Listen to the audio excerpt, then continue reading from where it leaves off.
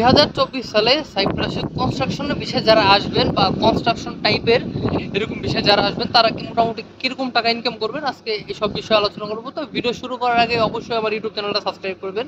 যারা এই মুহূর্তে আমার এই ভিডিওটা দেখছেন এখনই আমার ইউটিউবের নিচে দেখেন লাল লেখা আছে সাবস্ক্রাইব ওখানে চাপ দেন, যাতে নিয়মিত সাইপ্রাস জনিত সব ধরনের ভিডিও আমার কাছে পাবেন আমার এই ইউটিউব চ্যানেলে তো সাইপ্রাসে এখন গরম পড়ে যাচ্ছে মানে এখনও বাংলাদেশে তো প্রচুর পরিমাণে এখন গরম। বাংলাদেশে গরম এখানে হচ্ছে আপনার এখনও শীত শীত হালকা আছে, কিন্তু গরম পড়ে যাচ্ছে। হয়তো আমার এই ভিডিওতে নয়েজ পাবেন, বাতাসের নয়েজ মানে এখানে গরম পড়তেছে। আর গরমকালে সাইপ্রাসে মোটামুটি ভালো ইনকাম আপনি ওই সব ধরনের কাজেই সবসময় কাজ থাকে। সাইপ্রাসে গরমকালে ভালো। মানে আপনি যদি কাজের ওইভাবে লোক হন ইনকাম করতে পারবেন। শীতকালে একটু কাজ স্লো হয়ে যায় সাইপ্রাসে। তো এখন গরম পড়তেছে।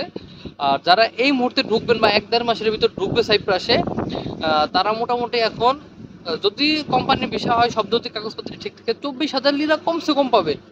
চব্বিশ হাজার লিরা আর অনেক আছে বাংলাদেশ আপনার প্লাস্টার করতে পারেন যে আপনারা যে- মালা কুরেক টান এই দেশে মালা কুরেক বলে, বাংলাদেশের নাম আমি শিওর জানি না। মালা মানে প্লাস্টার করতে যেসব জিনিস ধরা লাগে, ওই প্লাস্টার করার ওইগুলো যদি করতে পারেন, তারপরে যে শাটারিং বলে যেটাকে বলে, যেমন আপনার একতলা থেকে যখন আরেকতলা বিল্ডিং করবেন, ওই কাঠ দিয়ে যখন পুরোটা তৈরি করে কাঠ, ওইগুলো যারা করতে পারেন, তারা সাইপ্রাসে এসে মোটামুটি ভালো ইনকাম করতে পারবেন। সহজ কথায় বলা যায়, বাংলাদেশে যে জিনিসটা পারেন, একেবারে পরিপূর্ণ। ধরেন আপনি বাংলাদেশে একটা কন্ট্রাক্টর আপনি একটা বাড়ি তৈরি করতে পারবেন নিজে। মানে নিজে আপনি কীভাবে কি কাজ করতে হবে আপনি নিজে জানেন, এটা এইভাবে করতে হবে, এরকম নকশা।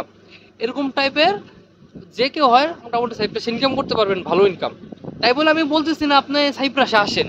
আমি বলতেছি না কাউকে যে আপনি সাইপ্রাসে আসেন, কারণ সব কোম্পানি এক হয় না, সব কাজ এক হয় না। আমি কাউকে আসতে বলি না। তবে আমি বলতেছি, যারা আসতে চাচ্ছেন বা পাসপোর্ট জমা দিয়েছেন বা আসার ভাবনা নিতেছেন, তাদের সেই সেই কারণে আমি বলতেছি, সেটা বলতেছি। ইনকাম কেমন? যদি আপনি নর্মাল হন, ওইভাবে বাংলাদেশে কাজকর্ম জানেন না, প্রকৃত হেল্পার হিসাবে আসতেছেন, যদি কাগজপাতি ঠিক থাকে, আপনি বিশ একুশ, বিশ থেকে শুরু করে চব্বিশ হাজার লিরা এতটুকুর ভিতরে বেতন পাবেন। বিশ থেকে চব্বিশ, এরকম লিরা বেতন পাবেন, তার ভিতরে হয়তো যে কোনো একটা পাইতে পারেন। থাকা পাবেন অথবা খাওয়া পাবেন না, খাওয়া পাবেন তো থাকা পাবেন না যে কোনো একটা পাবেন আর কি। মানে সাইপ্রাসের। আর যদি পরিপূর্ণ কাজকর্ম জানেন আপনি, ধরেন একেবারে পরিপূর্ণ কাজ জানেন, এই প্লাস্টার করা, শাটারিং করা অথবা টাইলস বলেন, এই এই, এইগুলো পারি আমি একবার ইন টোটাল আমি আমার বললে আমি করে দিতে পারব সব, এইভাবে কাটতে হবে। তারা মোটামুটি ভালো ইনকাম করতে পারবেন। যেমন আপনি প্রথমেও কম পাবেন, আপনি হয়তো বিশ, পঁচিশ হাজার পাবেন। পাওয়ার পর যখন আপনি আপনার বস অথবা আপনার যে উস্তাদ থাকবে, তাকে যখন বলবেন আমি কাজ পারি, আমি করে দিতে পারব, যখন আপনার কাজ তারা দেখবে, তারা এমনি বেতন দিবে, তারা আপনার আপনার এমনি বেতন দিবে। কারণ একটা তুর্কি হেল্পার এরও সর্বনিম্ন হলো এক হাজার এগারোশো লিরা দিতে হয়, তুর্কি হেল্পার যারা। মানে আপনি জাস্ট সিমেন্টের কাজ বলেন, সিমেন্টগুলা দিবে, সিমেন্ট টাকায় দিবে হেল্পারই কাজ। তুর্কির যদি কোনো মানুষ নেই তাও এক হাজার লিরা। আর আমাদের এরকম আউট দেশের যারকে ওদের কাছে আমরা বিদেশি। এরকম আউট মানুষের মানে চব্বিশ হাজার হইলেও আপনার চাকরি ছুটি থাকলে নয়শো নয়শো সামথিং বেতন হয়। মানে নয়শো সামথিং এখন আর একটা উস্তাদ যারা, এদের উস্তাদের সর্বনিম্ন বেতন হলো সতেরোশো, আঠারোশো, ষোলোশো লিরা।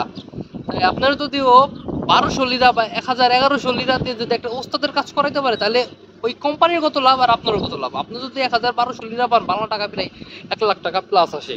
তার ভিতর থাকা পাচ্ছেন অথবা খাওয়া পাচ্ছেন যে কোনো একটা পাচ্ছেন। মানে এক লাখ টাকা প্লাস ইনকাম করলেও এই দেশের যদি কোম্পানির বিষয়ে আসেন, কাগজপাতি যদি সব কোম্পানি দেখে, তাহলে আপনি কমসে কম আপনি সত্তর, আশি, নব্বই হাজার ওইভাবে খরচ না থাকলে পাঠাতে পারেন।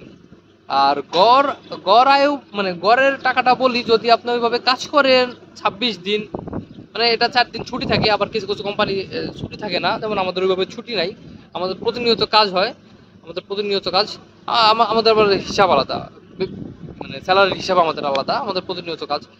এখন আপনি যদি ছাব্বিশ জন ভাবে কাজ করেন, ওই মোটামুটি বলা যায় সহজ কথায় পঞ্চাশ হাজার টাকা সাইপ্রাস থেকে বাংলাদেশে পাঠাতে পারবেন। সাইপ্রাসের যেই কাজ করেন না কেন, বাংলাদেশে আপনি পঞ্চাশ হাজার টাকা পাঠাতে পারবেন আরামসে, যদি ওইভাবে কাগজপত্র সব ঠিকঠাক থাকে।